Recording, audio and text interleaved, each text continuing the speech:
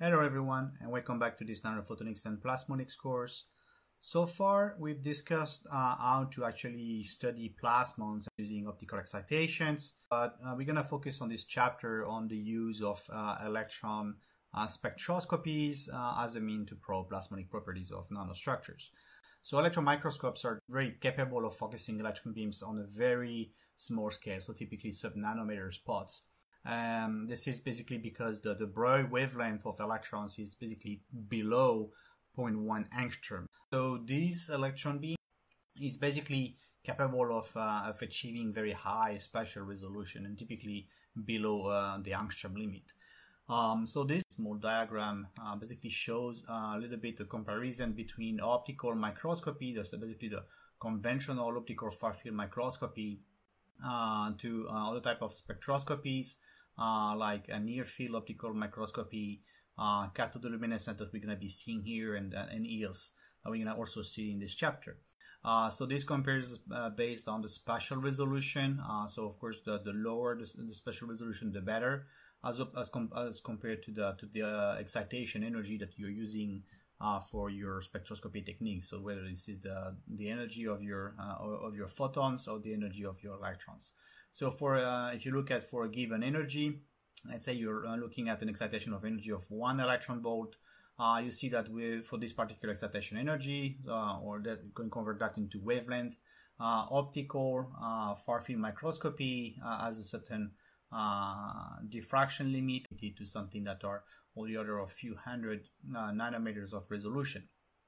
Now uh, we've seen in, uh, in uh, previous chapters that we can use near fields and evanescent waves to actually decrease and improve this spatial resolution. Uh, so you can go down now to uh, tens of nanometers in wavelength. Uh, so you can really push the limit of the, the imaging resolution when basically just going from far field into near field. Now with the use of electron beams, you can actually go much lower. So you can use cathodoluminescence and then uh, EELS that we're gonna discuss uh, in uh, in a little bit to actually achieve sub nanometer resolution or uh, at least a few nanometers of resolution. So um, electron microscopes are basically the best options uh, in terms of uh, spatial resolution, but also spectral resolution spectroscopy. And you send high velocity electrons that are basically called swift electrons uh, onto a given specimen. So you're gonna have a lot of different uh, physical processes that are gonna occur simultaneously. Like uh, those electrons are going just going through the, the specimen, be scattered elastically without losing energy. Uh, what can happen also is that uh, as a result of the excitation and the collisions between those energy electrons and the, and the nuclei uh, of those those those atoms, you can actually be able to emit X-rays uh, and that's going to give you basically uh, the, the, the, spectroscopy techniques known as EDS or EDX. Uh, you can have also the emission of secondary electrons uh, from the from the specimen. Uh, you can also have uh, Auger electrons that can be resulting from interaction of those electrons with the valence electrons from the from the from the, the material you're, you're probing. You can, of course, um, because you have very fast moving uh, charges that going to be uh, going through this uh, uh, this interface. You're going to have uh, Cherenkov and transition radiations that can be observed. And basically, what we are interested in in this particular chapter are the last two physical processes, which are basically the emission of light as a result of the interaction of these electrons with the the, the, the system, and that's basically known as cathodoluminescence. And you have also a fraction of electrons that will basically go through the system, but they will lose a little bit of energy. So there's some kind of inelastic scattering happening. And this is basically what's going to give you the electron energy loss spectroscopy known as EELS. Practically, it's uh, done in uh, either tra- uh, transmission electron microscope or in a scanning electron microscope. So you send these uh, high energy electron beams, so typically in a range 50 to 400 kilo electron volt, uh, onto a certain specimen.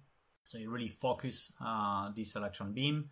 Uh, and then if you want to actually measure uh, EELS, uh, you're going to be in a transmission mode. So you're going to need these transmission capabilities. That's why you do that in the TEM.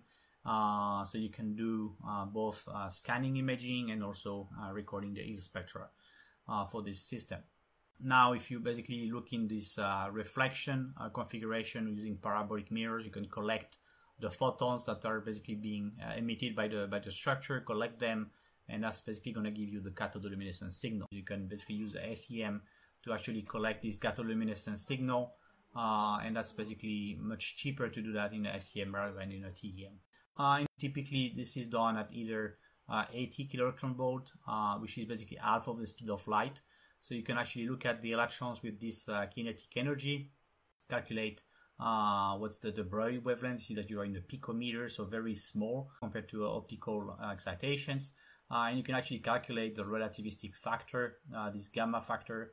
You see that uh, you're starting to have some relativistic effect. Um, and um, can also be done uh, typically at 300 kilo electron volts.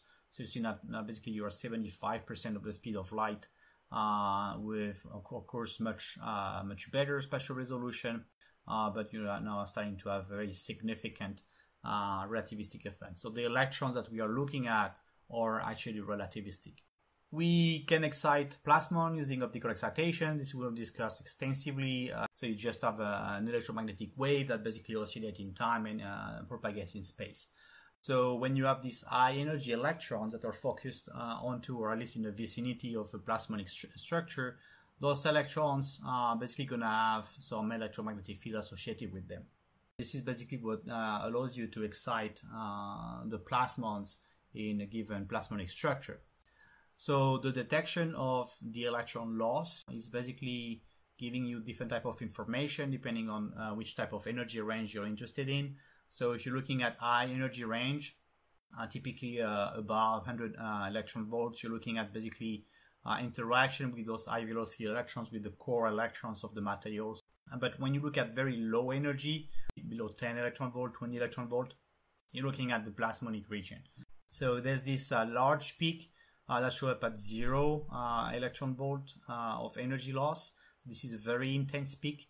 Uh, this is basically the zero loss peak. These are the electrons that are basically just zooming through or zooming by without losing energy the part we are interested in are the basically the low losses. Uh, so the plasmons are typically very close to this zero loss peak. So that's why it's also a challenge to get them. You need basically to filter out all those selections that are basically uh, not losing energy in order to actually observe those that are losing just a tiny bit, a tiny fraction of energy. So in terms of uh, numbers, remember we are uh, sending electrons that are uh, tens or hundreds of uh, kilo electron volts of energy, and you're looking at the electrons that are losing just a few electron volts. Remember what we discussed in uh, in chapter one, uh, and then when we discussed again in chapter nine and chapter eight. The surface plasmons have been discovered back in the 50s by Powell-Swan and Watanabe, uh, and they used EELS measurements to actually look at aluminum and observe those surface plasmons. So the bulk plasmon, the surface plasmons. So I'm going to do a little bit of math here uh, just to show you the, the, the, the, mathematical formalism behind. But basically, the electromagnetic field, which is associated with a fast moving point charge, is actually regarded as just an evanescent uh, source of radiation. And when this source of radiation is actually moving, uh, those evanescent fields will actually be able to excite the, uh, the plasmonic resonance in a given nanostructure. So this allows you to explore uh, regions that are outside of the light cone where light is just propagating in free space. And that's how you are able to excite uh, SPPs, for instance, uh, that are uh, surface bound modes and also dark plasmon modes uh, that we're going to discuss. So those dark plasmon modes like the anti-bonding dipole resonance, you know, dimer or quadrupoles without retardation effects are basically not emitting light, but you can actually excite them using EELS.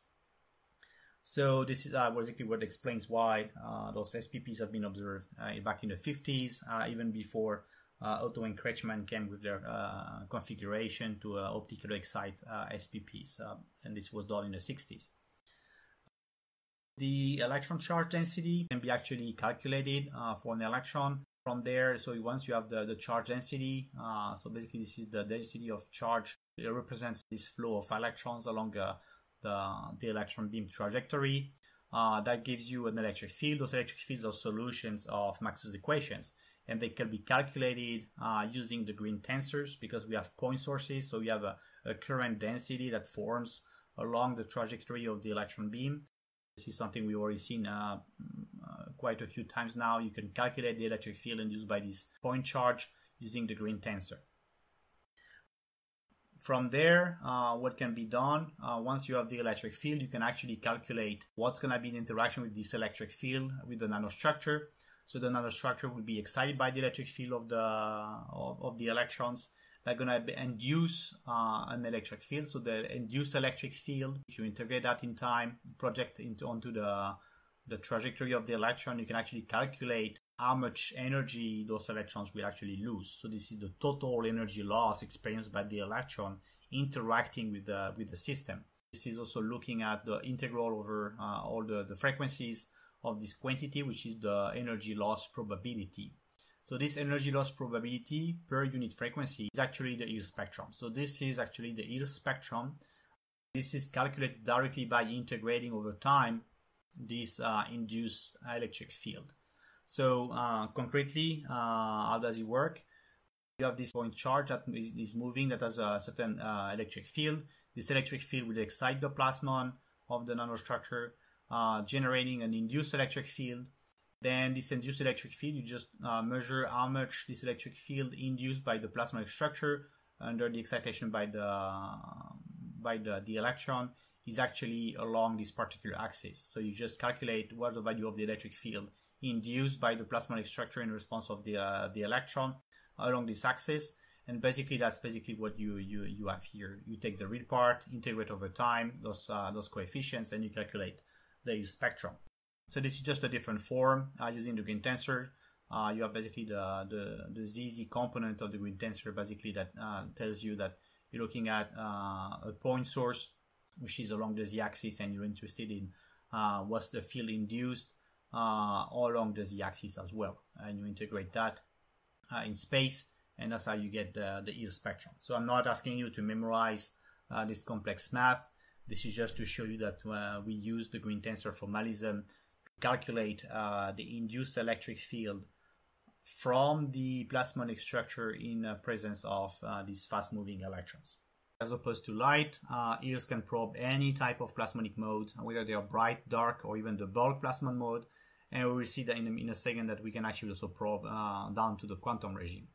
So if you have a silver nanoparticle, uh, you can actually send the electron beam impacting at those different locations so these are the different uh, impact parameters. Uh, you can excite the nanoparticle with an electron beam just uh, nearby the surface.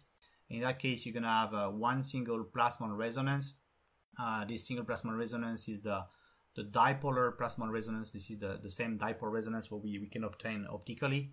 Uh, and as you move the electron beam inside the nanoparticle, you're going to still excite the plasmon resonance, the SPR, which is a dipole resonance, but you can also excite the bulk plasmon. So this is the bulk plasmon that was observed in the original uh, work by uh, Watanabe, Swan, and, uh, and Powell.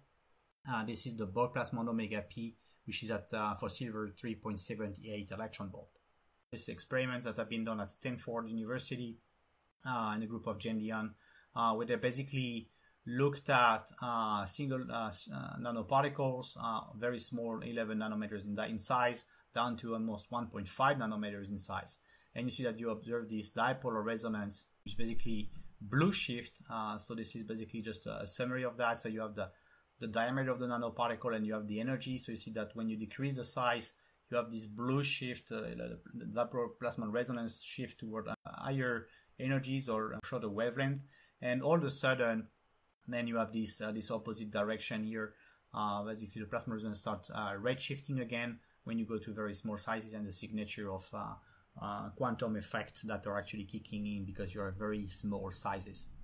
Another example uh, in the case of, uh, of a dimer. Uh, so this is basically the same experiments as, as uh, has been done in, in the previous one, but now we have a dimer of silver nanoparticles.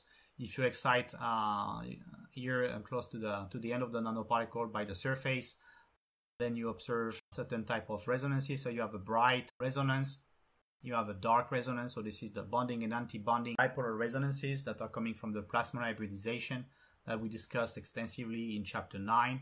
Uh, so the, the dark resonance, which is the anti-bonding, which is the one at high energy, because of the charge distribution, the, the charge pattern, You see that this one will not, uh, will have a zero net dipole moment, so this one cannot be excited using light.